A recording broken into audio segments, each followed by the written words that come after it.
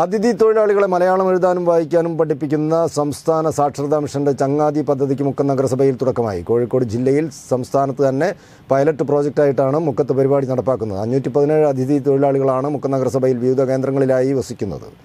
അവരുടെ ആവാസ കേന്ദ്രത്തിൽ ചെന്ന് അവരെ മലയാളം എഴുതാനും വായിക്കാനും പഠിപ്പിക്കുന്ന പദ്ധതിയാണ് ചങ്ങാതി പദ്ധതി. പരിപാടിയുടെ ഉദ്ഘാടനം നഗരസഭാ deputy chairperson advocate K P Chandini നിർവഹിച്ചു.